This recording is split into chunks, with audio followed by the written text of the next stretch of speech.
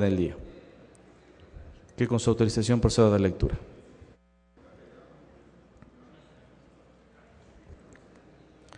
Quito, Distrito, Quito, Distrito Metropolitano, julio 6 de 2012, oficio número 185, RVSV-AN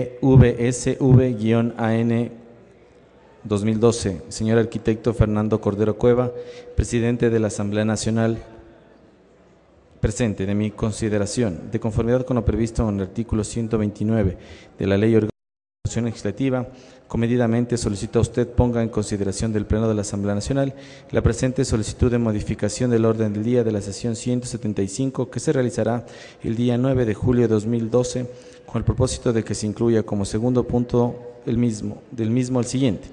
Proyecto de resolución para declarar al Cantón Santa Rosa de la provincia de El Oro como pionero en el cultivo y producción de camarón en cautiverio a nivel mundial. Adjunto el texto del proyecto de resolución y las firmas que respaldan al mismo. Con sentimientos de consideración y estima personal, atentamente, licenciada Rocío Valares Ordóñez, segunda vicepresidenta de la Asamblea Nacional. Señor presidente, adjunto las firmas correspondientes y el proyecto de resolución. La asambleísta Rocío Valareso es la asambleísta ponente. Tiene la palabra asambleísta Rocío Valareso.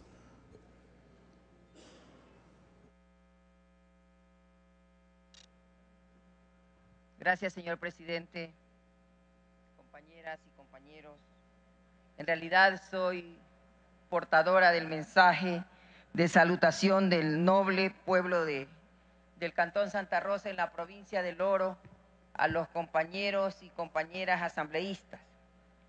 El motivo es poner de manifiesto que muy a pesar de que Santa Rosa ha sido víctima de fenómenos naturales, que han devastado sus campos, igual que la nefasta invasión de 1941 por parte del vecino país del sur, que la convirtieron en cenizas. Su pueblo valeroso y tenaz ha sabido levantarse con hidalguía y entusiasmo, cual ave fénix, para que con su pujanza, creatividad y esfuerzo contribuir a través de la historia con su aporte al desarrollo de la economía, nacional a través de sus múltiples actividades productivas, bananera, agrícola, ganadera, minera y camaronera. Es de entre estas actividades productivas que el cultivo de camarón se ha constituido en uno de los factores productivos más representativos de la provincia del Oro, tanto por la importancia social y económica como por la trascendencia histórica que éste tiene para la economía de nuestro país.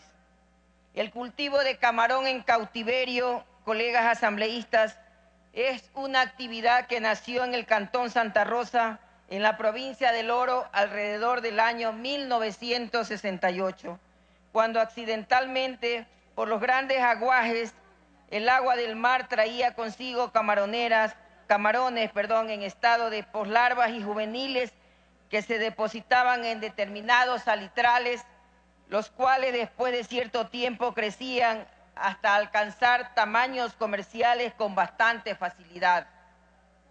Fue el señor Jorge Kaiser Níquel, un ilustre hijo de la ciudad de Santa Rosa, quien al observar este fenómeno natural realizó el primer experimento de cultivo de camarón en cautiverio, por lo que es el precursor de esta iniciativa creadora que luego se difundió al país y al mundo con excelentes resultados, desarrollando con ello grandes perspectivas de oportunidades de trabajo. Fue de esta manera, señor presidente y colegas asambleístas, que nació una industria que se ha extendido por todo el mundo, convirtiéndose en una de las principales actividades económicas de nuestro país la cual tiene el camarón, al camarón langostino como la especie marina de mayor relevancia dentro del comercio exterior ecuatoriano, al punto de entre enero y octubre del 2011 el Ecuador exportó alrededor de 815 millones de dólares. Por lo expuesto de la manera más comedida, yo solicito a ustedes, colegas asambleístas, su apoyo y respaldo unánime a este proyecto de resolución que he presentado para declarar al Cantón Santa Rosa en la provincia del Oro como pionero en el cultivo de camarón en cautiverio a nivel mundial. Compañeras y compañeros de antemano, muchísimas gracias por vuestro apoyo. Gracias.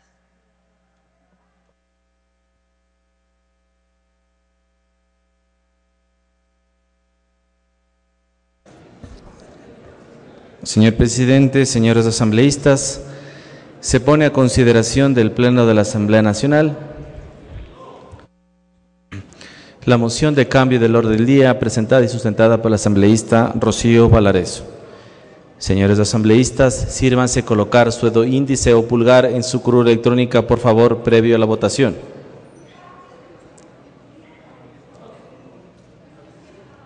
Sírvanse verificar que diga registrado, por favor, y que se encuentren en las pantallas del Pleno de la Asamblea Nacional, por favor. Personal de apoyo, informa a esta Secretaría si existe alguna novedad. Señores asambleístas, sírvanse registrarse en su cruz electrónica, por favor.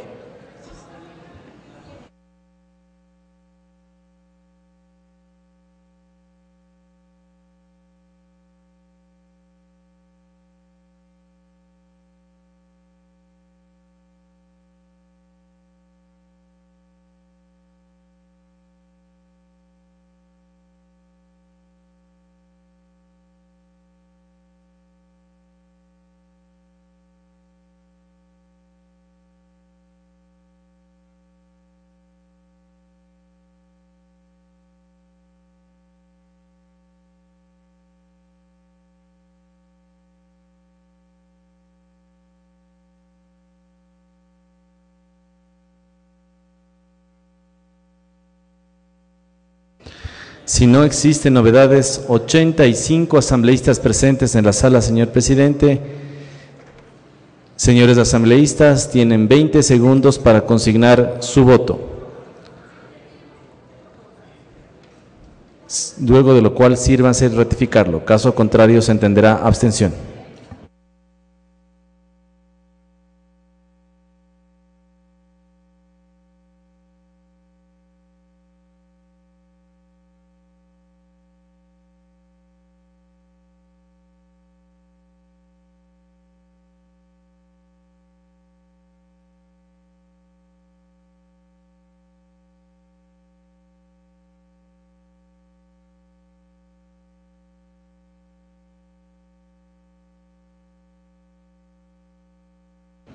Presente los resultados, por favor.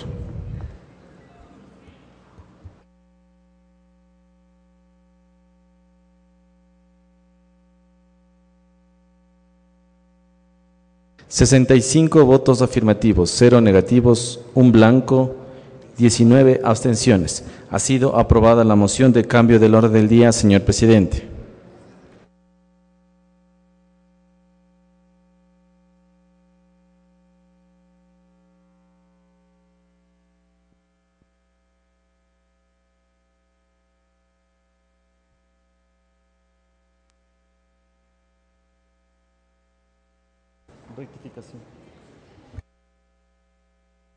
A petición del asambleísta Clever García, se pone a consideración del Pleno de la Asamblea Nacional la rectificación, rectificación de la votación de la moción del asambleísta Rocío Valareso. Señores asambleístas, sírvanse colocar su dedo índice o pulgar en su cruz electrónica, por favor. En esta votación solamente podrán participar los asambleístas que estuvieron presentes en la primera votación.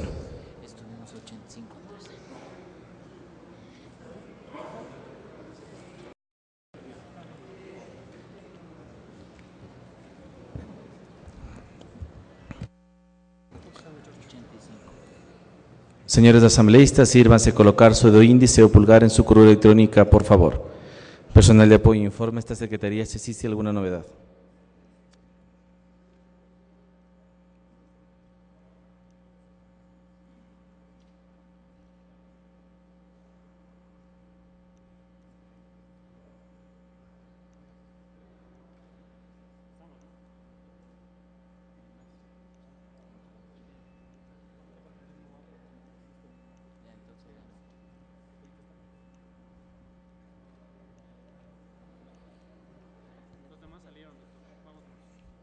Si no existen novedades, 81 asambleístas presentes en la sala, señor presidente. Señores asambleístas, tienen 20 segundos para consignar su voto, luego de lo cual sírvanse ratificarlo. Caso contrario, se entenderá abstención. Personal de apoyo.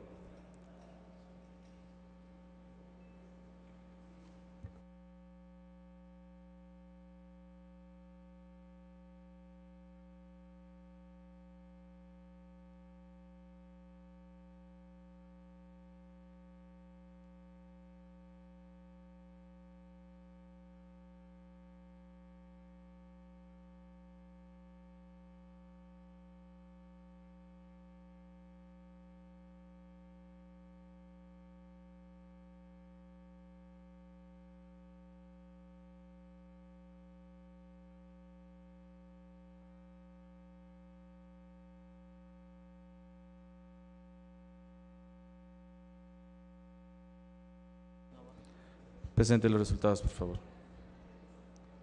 62 votos afirmativos, 0 negativos, 2 blancos, 17 abstenciones. Ha sido aprobada la moción de cambio del orden del día presentada por la asambleísta Rocío Valareso, señor presidente. No tenemos más peticiones.